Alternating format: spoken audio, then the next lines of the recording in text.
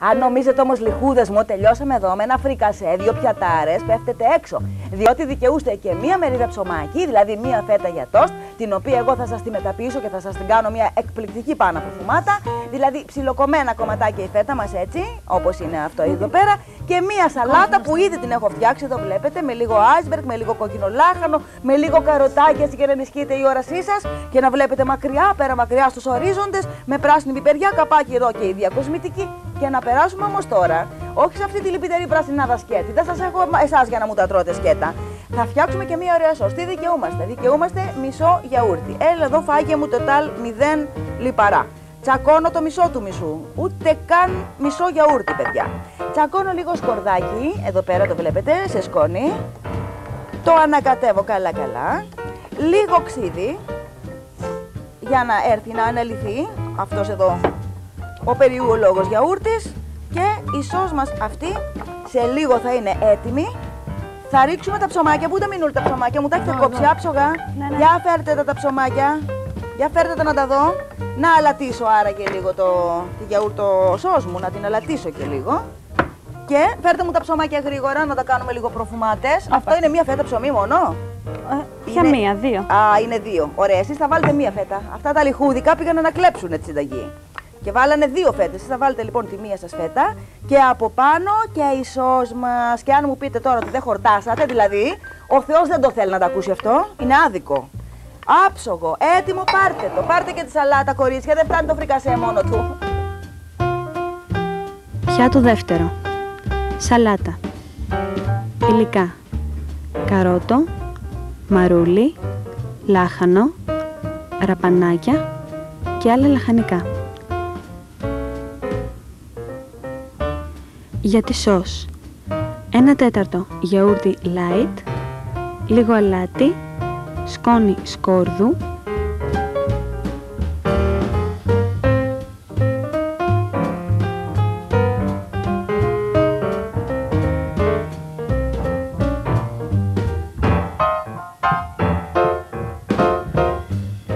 μία κουταλίτσα ξύδι και μία φέτα ψωμί για τόστ κομμένη σε κύβους.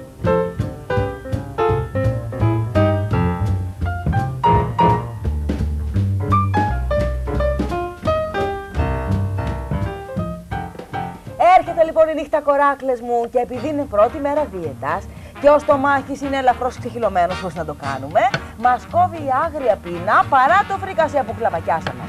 Τι άλλο μας απομένει μου λέτε, τι άλλο μπορούμε να φάμε, πέστε μου. Λοιπόν έχουμε το μισό του μισού από αυτό εδώ το γιαούρτι, α τώρα μάλιστα ησύχασα, θα χορτάσω.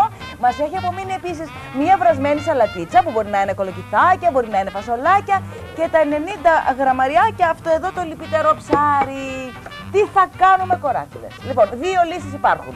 Η μία λύση είναι να τσακώσουμε στα γρήγορα ένα αθηνό όραμα, ένα F που είναι περιοδικό έτσι για πολύ γκουρμέ και ό,τι ρεστοράν μας προτείνει το F να το πάρουμε σβάρνα. Επειδή όμως όποιος φάει τη δίαιτα έτσι από την πρώτη κιόλας μέρα είναι λίγο κατάπτυστος, εμείς θα πάρουμε όλα αυτά τα λίγα λυπητερά πραγματάκια που μας απέμειναν και θα δείτε τι λουκούλιο δείπνο θα στήσουμε. Καταρχήν υπάρχει μια βρασμένη σαλάτα, ε, γιατί όχι, ψημένη δηλαδή, σαλάτα ξέρετε, που όταν σκεφτόσαστε εσείς μια σαλάτα βρασμένη, ο νους σας πάει πάντα ή στα χόρτα ή στα βρασμένα κολοκύθια. Ε, δεν είναι μόνο αυτά. Λαχανικά είναι και η μελιτζάνα, είναι και τα οντίβι, η κορέ και η πιπεριά και πολλά άλλα πράγματα. Στο μεταξύ λοιπόν έχουμε βάλει στο γκριλ δύο μελιτζάνες σκαμμένες, οκτώ θερμίδες και οι δύο, μία πιπεριά και δύο-τρία κολοκυθάκια κομμένα στη μέση. Ήδη τα έχω βάλει, θα μείνουν 10 λεπτάκια και τώρα θα τα γεμίσω σε λίγο με μία υπέροχη σως που θα τη φτιάξω με δύο κουταλάκια λάδι που μας απομένουν, γιατί τρία μας επιτρέπονται όλη την ημέρα, με το μισό του μισού από αυτόν εδώ το γιαούρτι και με τριμμένο καρότο και κολοκύθι. Έχει αυτός ο πιάτος καμία σχέση με τη λυπητερή βρασμένη σαλάτα, αν δεν έχει. Και πάμε στο κυρίως πιάτο μας το βραδινό, έτσι για να αξιοποιήσουμε τα 90 γραμμάρια του ψαριού του κατάπτυστου που σας λέω και τα λαχανικά, που άμα τα φάτε έτσι σκέτα, άντε μετά να χορτάσετε. Εδώ, κορίτσια, λοιπόν, θα κάνουμε ένα τρικ που θα μετατρέψει αυτό το πιάτο σε μια συγκλονιστική λιχουδιά. Που στο όπου αυγεί, ας πούμε, στο Παρίσι, θα πληρώνετε 10.000 για να το φάτε. Όξο το κουβέρ. Σε μένα πάλι θα το φάτε με 500 δραχμές και πολλές σας λέω. Για αυτόν τον πιάτο χρησιμοποιούμε μερικά ωραία φύλλα ζελατίνης ή και σκόνη ζελατίνη. Παίρνω εγώ σκόνη εδώ πέρα. Που έχουν 0 θερμίδες. Τα λιώνουμε αυτά μέσα σε λίγο νεράκι. Εδώ να ρίξω ένα τέτοιο Εσείς θα το πάρετε και σε φύλλα ζελατίνης που υπάρχουν στο εμπόριο, ένα φθονία. Θα ρίξω λοιπόν δύο τέτοια μικρά κνοξάκια, ζελατινούλα είναι αυτή, να τζέλι όπως βλέπετε, μηδέν θερμίδες, σας το ξαναλέω και θα το διαλύσουμε με νεράκι. Επειδή όμως το θέλω να έχει και λίγο χρώμα, να έχει και μία ντανιά, θα ρίξω και όλο αυτό το πατζαρόζουμο και θα μας κάτσει κούκλα. Στο μεταξύ τα πιτσιρίκια έχουν ψιλοκόψει τα λαχανικά. Μπράβο σας παιδιά, άψογου σας βρίσκω. Και περιττώ να σας πω ότι αυτό εδώ το τζέλι μπορείτε να το χρησιμοποιήσετε. Ε, μπορείτε να το φτιάξετε και με ζουμάκι από σπανάκι για να σας βγει πράσινος ο αριστούργημα που θα φτιάξετε ή με ζουμάκι από τα γνωστά πατζάρια που το κάνω εγώ γιατί εγώ έχω ένα άλλο το πρόβλημα με το κόκκινο. Έβαλα λοιπόν πατζαρόζουμο, ό,τι σας είπα να επαναλάβετε, μπράβο και λίγα φύλλα ζελατίνας. Το ανακατεύω πολύ καλά για να λιώσει. Στο μεταξύ όμως θα ανοίξω αυτήν εδώ την κατσαρόλα τη συγκλονιστική που μας έφερε το κούξο. Αχ, καίει.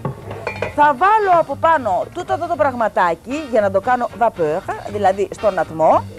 Και τη λυπητερή μου τη φέτα το ψαράκι που έτσι δεν υπήρχε περίπτωση εγώ να τη φάω, δεν το συζητάω.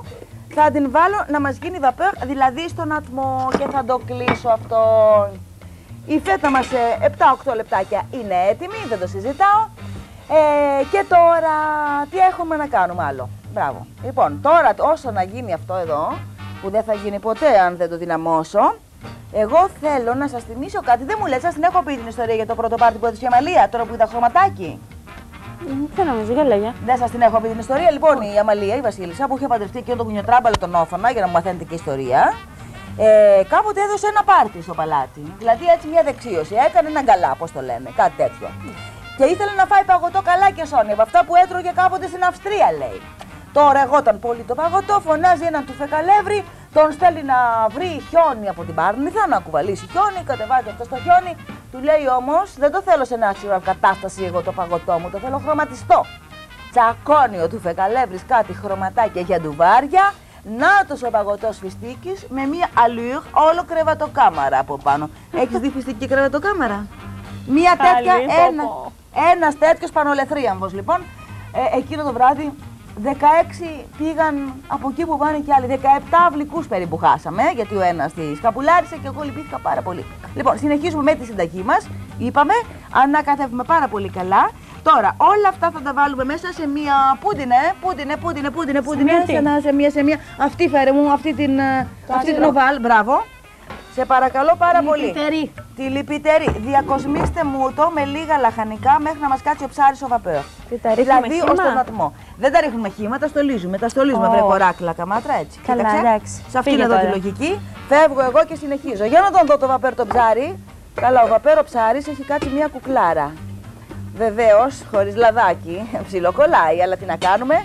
Ασόψε την καταραμένη κατάσταση, δεν πειράζει. Στο μεταξύ, τι έχω να σας πω; Α, θα μας κάτσει τώρα μία εικαστική σύνθεση εδώ μέσα, αλλά τσόκλισε.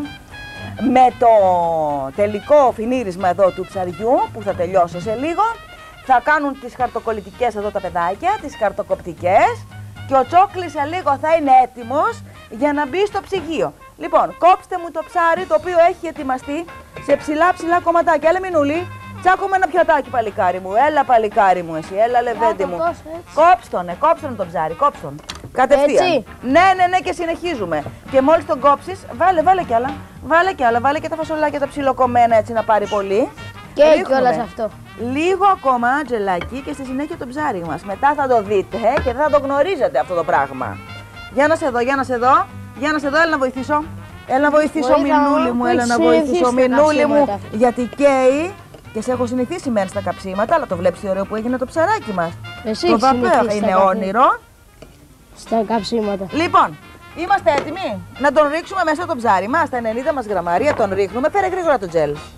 Γρήγορα το τζελ κόρια καμάτρα και ρίχτω από πάνω. Εγώ τον κόβω και με το χέρι το ψάρι. Έλα, ρίχνε, ρίχνε, ρίχνε. Αυτά 90 γραμμάρια. Φύγε, φύγε, γρήγορα. Γρήγορα. Σε αυτήν εδώ τη λογική και στο ψυγείο κατευθείαν. Φύγε. Φύγε στο ψυγείο γρήγορα. Άντε καλέ, συνοστισμό στην κουζίνα. Άσκλεισο και αυτό το μάτι.